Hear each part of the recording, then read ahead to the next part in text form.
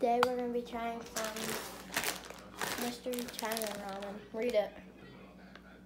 Read it. I don't know what that says. Big soup, big taste. Vlog video. You are really bad at opening that. What? Oh, you guys- Oh, you tough. You guys videoing that? Yeah.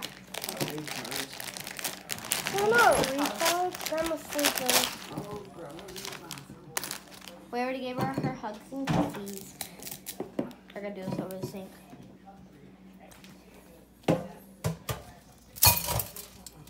That's exactly why I did it over the sink. You guys are weird. No, we're not. No, we're not, Will that be Grandma. on there? What? Yes. My voice? Yes. Oh, God. I swear then. Yeah.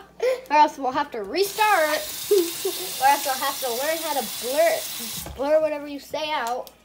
Oh, Okay. We don't even know what this is. It's all in China. It's called Fleepy.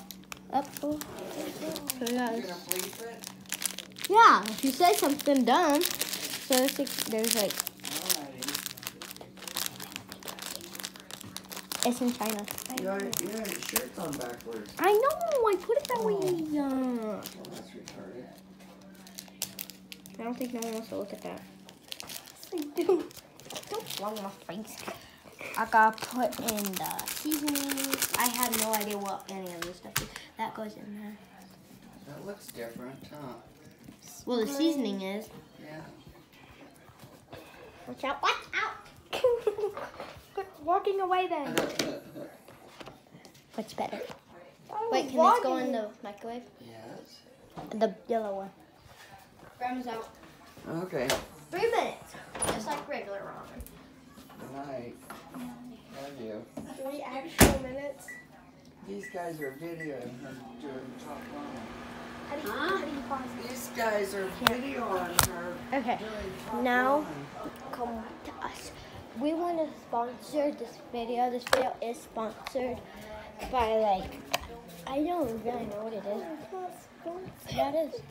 It's by this water, uh, but don't try it because it's grapefruit and it's disgusting.